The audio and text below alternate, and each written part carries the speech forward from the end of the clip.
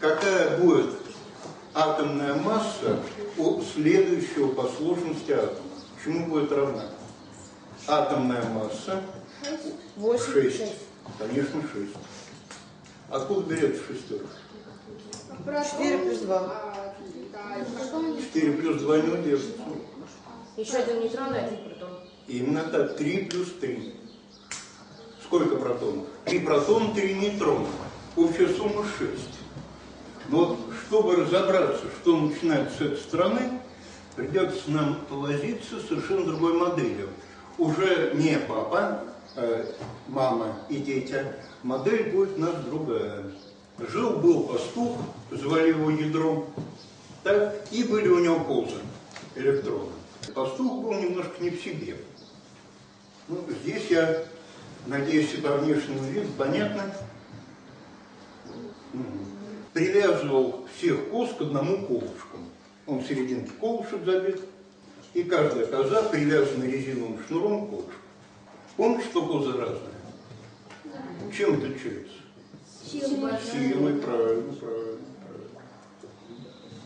Сам садился на стульчик посередине, сел он как раз в районе этого колышка, в руках кнут держит,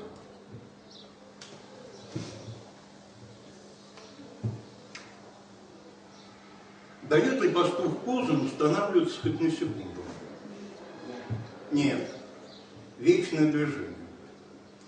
Теперь смотрим, а к чему это будет приводить. Если козе дать волю, то она, естественно, убежала бы. Ну, ее хлещет, ей больно, неприятно, она бы удрала. В рамках атома, что значит, электрон бы покинул атом, и все. Но козу держит привязь. В этой модели привязь это резиновый шнурок, а в атоме что это за привязь? Это. Сила притяжения какого? Гравитационного? Нет, нет. Электростатического. Сила взаимодействия разноименных зарядов. Пастух гоняет, остановиться они не могут. При этом стараются держаться поближе к пастуху или подальше? Подальше. Подальше. А теперь давайте подумаем, у всех ли это получится одинаково хорошо. Нет. Козы разные. Энергии-то у больной козы мало, поэтому сможет ли она сильно растянуть шнур?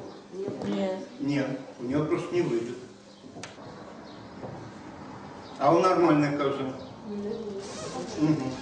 Смотрите, траектория движения первой и второй козы будет совпадать или будет отличаться? Отличаться. А как по-вашему, а Шварценеггер где будет? А Шварценеггер еще дальше. В результате, что мы получили? А Мы получили интересную штуку. Все электроны должны крутиться в одной области пространства. Нет, нет. ядра. А в зависимости от чего? Только не силы, от энергии. Не путайте, это два совершенно разных понятия физики. Электроны в атоме распределены по энергетическим уровням. Первым считается уровень самый близкий к ядру. Там будут сидеть какие электроны, с какой энергией? Самая низкая энергия. А самые внешние электроны, это э, электрон с какой энергией? Конечно, с А сколько всего максимум может быть энергетических уровней? Как по-вашему, от чего это будет зависеть? От, э, от о, энергии. От размеров атома, от массы ядра. Ведь от чего зависит количество электронов, которые данный атом включает в себя? От чего? Не нейтронов. Кто критик? Протонов. В результате в самых тяжелых атомах, в самых тяжелых элементах, так, там больше 100 электронов на орбите. И они будут распределены уже на много-много разных энергоуровней. Это понятно? Ну а у простых элементов количество энергоуровней ограничено. Мы с вами будем разбирать на самом деле устройство атома не только первого уровня. К первому уровню относятся только два вещества, только два химических элемента. Как по-вашему, э, может ли у водорода и гелия быть э, более одного энергоуровня? Ну, дайте вспоминать. У водорода нет, а у гелия может. Может, да? Там два протона, и они притягивают два. Два электрона. На что сделают эти два электрона? А они будут бегать по одной одной орбите. А какая орбита? Которая будет находиться подальше а, от ядра или э, на самом близком расстоянии? У водорода и гелия электроны на самом низком, на первом энергоуровне. А вот у всех остальных можно ли на этот уровень еще засунуть электрон? Нет. Нельзя. Элемент номер три – литий. Металл литий.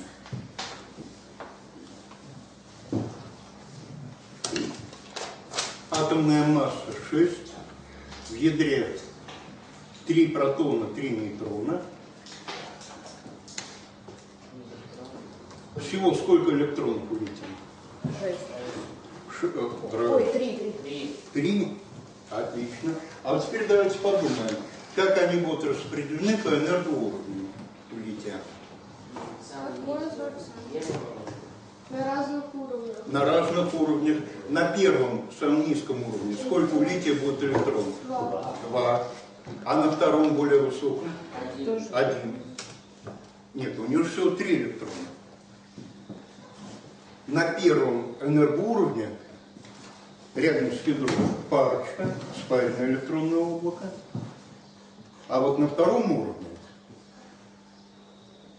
электрон с уже большей энергией, это второй энергоуровень, и у лития он будет в одиночку крутиться. Вот это понятно? Ну, для начала более чем достаточно. Немножко покрутите в голове эти модельки, которые мы с вами разобрали, если они для вас новенькие. Если возникнут какие-то вопросы, внимание, смотрим. На самом деле лучше всего, когда у вас по ходу нашей работы возникают вопросы. Вот сейчас у кого-нибудь вопросы есть? Если есть, давайте. А почему у лития они по разному энергетическим уровням расположены? А можно ли на первый уровень бить э, третий электрон? Нет. Нет. Ну вот смотрите, а если на первом уровне будет два электрона, а а на втором уровне один электрон. А именно так и будет на первом уровне у лития 2, а на втором 1. Дело в том, что, как по-вашему, какие электроны сначала э, притягивать ядро будут? Те, которые имеют большую энергию или те, которые имеют меньшую энергию? Меньшую. Значит, э, какие уровни будут заведомо всегда заполнены? То есть там будет столько электронов, сколько там вообще может. Первый. Первый ниже. Поэтому на самом низком первом уровне говорится два электрона, а уровень повыше следующая ступенька. Так? А Да. сколько может быть э, э, ядер максимум? А теперь подумайте, что вы сказали.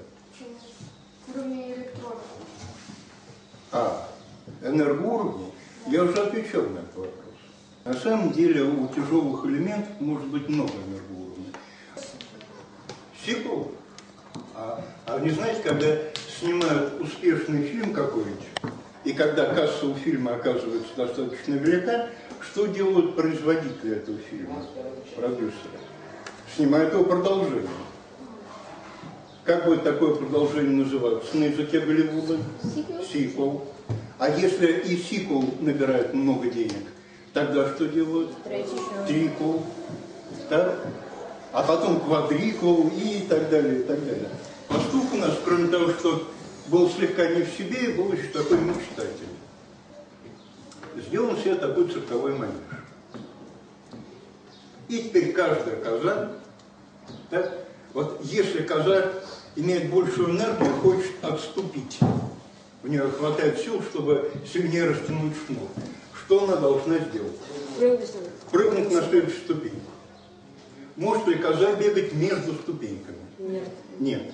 Поэтому переход с уровня на уровень возможен такой постепенный, плавный или только скачком? Только скачком.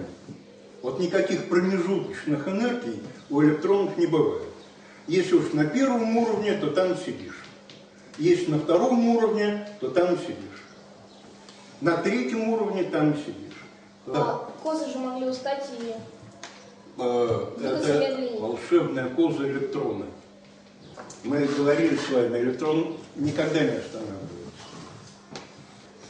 Как всегда нашелся народный целитель, пожалел больную козу, ей больше всего достается, откорректировал ей по фотографии биополя, очистил ей карму, избавил от тяжелой неправильной кармы и накормил волшебными биологическими добавками. Ну и как по-вашему, как это сказалось на активности козы? Что она увеличила энергию. Если она увеличила энергию, что должно произойти? А вот что произойдет. Она прыгнет на следующую ступеньку. Таким образом, если взять и накормить электрон, так, А чем? о, после обеда будем разбираться, как накормить электрон. Значит, что произойдет с электроном, если его накормить? Куда? На- следующий энергоуровень. Да, но если там есть электрон, то Если есть свободное место. Мгм.